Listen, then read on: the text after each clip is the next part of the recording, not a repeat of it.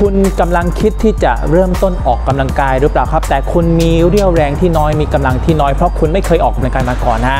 ทำยังไง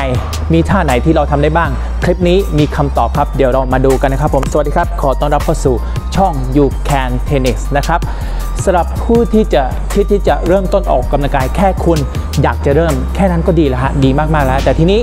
เราแบบว่ามีเรี่ยวแรงมีกำลังที่น้อยใช่ไหมครับเพราะเราไม่เคยออกกำลังกายมาเลย หรือว่าหยุดออกกำลังกายมานานมาก ๆนะฮะมีท่าไหนที่ผู้เริ่มต้นออกกำลังกายนะครับ สามารถที่จะทำได้บ้างฮะอะเดี๋ยวเรามาดูกันนะท่าที่หนึ่งครับท่านี้ครับเพื่อนๆสามารถที่จะทำกับกำแพงก็ได้ หรือกับโต๊ะที่มีความสูงพอประมาณก็ได้ฮะนั่นก็คือท่าผู้ชัมนั่นเอง แต่ไม่ต้องตกใจฮะเราไม่ได้ทำบนพื้นนะครับ เราทำบนพื้นพื้นที่ที่สูงขึ้นมานะอาจจะเป็นกำแพงฮะหรืออาจจะเป็นโต๊ะนะครับ ซึ่งมันจะทำให้ท่าเราง่ายขึ้นครับ ทีนี้ครับลักษณะของการทำนะอย่างที่เราสามารถยืนแบบขาเช็ดกันก็ได้ขาห่างกันก็ได้ครับนะฮะพยายามรักษาช่วงลำตัวเราให้ตรงนะครับผม แล้วก็งอข้อศอกในลักษณะเฉียงไปด้านหลังเล็กน้อยนะครับ เราจะไม่งอแบบนี้ไม่ใช่นะ ไม่ใช่นะครับผม จะเป็นลักษณะแบบนี้ครับ อ่า อย่างนี้นะครับ แล้วก็ลงช่วงไหล่อย่าให้ไหล่เรายกแบบนี้นะฮะไม่เอานะครับ กดไหล่ลง กดไหล่ลงนะครับ กดไหล่ลงงอลงมานะครับ ถ้าเกิดมุมที่เราทำรู้สึกว่ายากก็เดินเข้ามาได้อีกไม่เป็นไรครับ ขอแค่ให้เราได้เริ่มฝึกเริ่มทำก่อนนะครับผมขอตัวอย่างท่ากางแขนจิบอีกทีอ่าถ้าการแข่งผิดก็จะเป็นอย่างนี้ เรายกอย่างไม่ไม่ไม่เอานะฮะแบบนี้ไม่เอานะ ไม่เอานะครับ กดไหลลง กดไหลลง พับเข้ามา ไม่จำเป็นต้องให้ไม่จำเป็นต้องให้แขนชิดแบบนี้ไม่จำเป็นนะครับเปิดออกได้นิดนึงนะฮะให้มันเฉียงไปข้างหลังเล็กน้อยแบบนี้นะครับแล้วก็ดันนะฮะทำเท่าที่ทำไหวครับในช่วงแรก ถ้าทำได้ 10 ครั้ง 15 ครั้งก็ถือว่าดีมากนะครับ อันนี้คือท่าที่หนึ่งนะครับในส่วนของท่าที่สองนะครับทีนี้มันจะเป็นท่าดิฟดิฟนี้อาจอาจจะต้องดูจากด้านข้างนะฮะที่ท่าดิฟก็จะเป็นอย่างนี้ครับเราอาจจะทำกับโต๊ะที่สูงขึ้นมานะ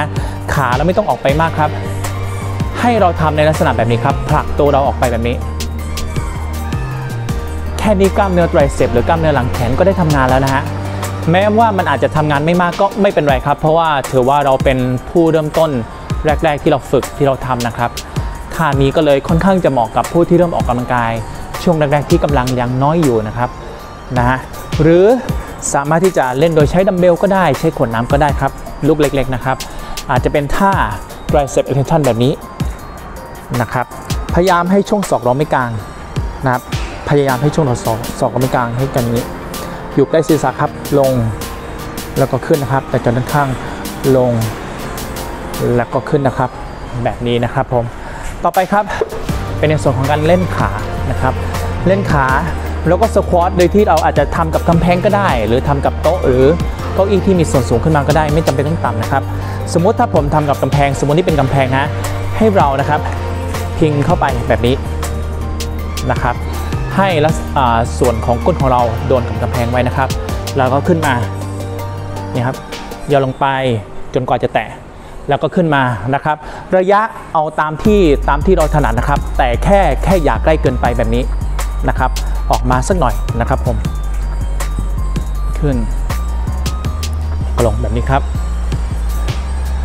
ตอนที่ทำสควอตนะครับ ฝึก ฝึกท่าทางของเราให้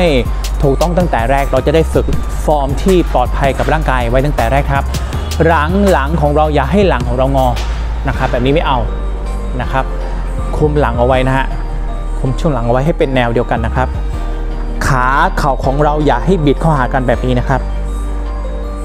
แบบนี้ไม่เอานะฮะให้ช่วงเข่าช่วงขา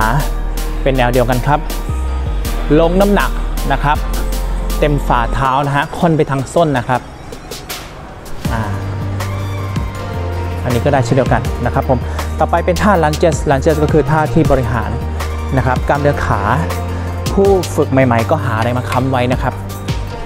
หาอะไรมาค้ำไว้ เวลาย่อเราพยายามควบคุมไม่ให้ตัวพุ่งไปข้างหน้ามากเกินไปนะครับ ย่ออย่าอย่าให้พุ่งมากเกินไปแบบนี้ ถามว่าท่านี้มันมีไหมมันมีนะฮะมีนะครับสำหรับคนที่เขาเป็นนักกีฬาคนที่มีความแข็งแรงแล้วมันมีท่านี้อยู่ แต่ว่าเรายังไม่ต้องทำถึงขั้นนั้นฮะเราทำแบบนี้ก่อนนะครับขาสามารถยืดให้กว้างได้ครับย่อลงไปขึ้นแล้วก็ลงนะครับ ทิ้งน้ำหนักลงตรงๆนะฮะขึ้นนะครับทำทั้งด้านขวา แล้วก็ด้านซ้ายครับ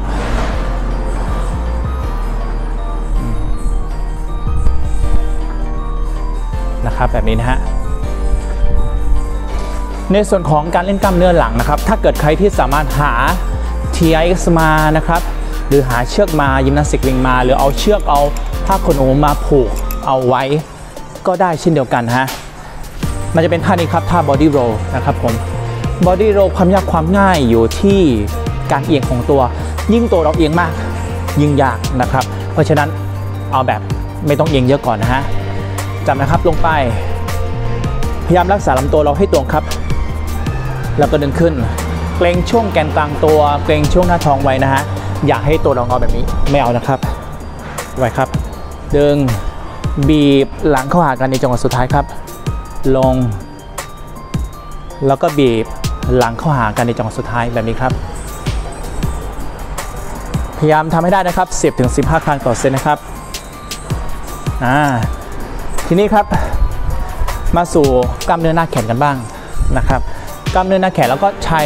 ดัมเบลนะฮะลูกเล็ก ๆ ได้นะครับหรืออาจจะเป็นขวดน้ำขวดน้ำที่ใส่ทรายนะครับ ก็ท่านี้เลย bicep curl อย่าอย่าให้ไหล่เราห่อตอนที่เราทำนะครับเก็บกดไหล่ลงปั๊บแล้วยกขึ้นแบบนี้น้ำหนักที่เล่นได้น้ำหนักที่เล่นได้ประมาณ 10-15 ครั้งนะครับ แล้วก็มาครับ มาสู่ท่าประเภทท่าเบิร์นกับท่าเล่นหน้าท้องบ้างนะโดยที่เราแบบไม่ต้องขยับเยอะๆนะครับ ไม่ต้องนั่งไม่ต้องงอหลัง ไม่ต้องยกหลังนะก็ท่าประเภทยืนนะครับ แล้วก็สามารถที่จะยืนตีเข่านะฮะตีเข่ากับศอกเข้าหากันแบบนี้ได้ แค่ตรงนี้ครับกล้ามเนื้อหน้าท้องก็มีการทำงานแล้วนะครับกดเข้ามา เป็นท่าที่ใช้ในการเบิร์นได้ด้วยนะครับ ฝึกกล้ามเนื้อท้องได้ด้วยเช่นกันนะครับ ทำครั้งละ 15 ครั้ง 20 ครั้ง 30 ครั้ง แล้วแต่ที่เราจะทำเลยนะครับ แล้วก็จะมีแบบด้านข้างแบบนี้นะครับ ด้านซ้าย